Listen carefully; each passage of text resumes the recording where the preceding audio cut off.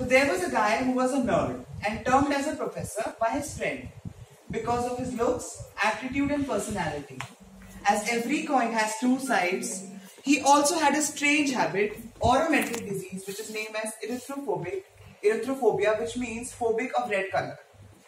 So when he hits with that disease, he, he acts strangely, beats everyone, kills everyone, almost. But then a temporary solution to it is that if his friends show him a mirror, then he is back to normal. But it's temporary. But then what they do, they take, they take him to a hospital and there the doctor is a red skirt a red And you know after that what happens. Thank you.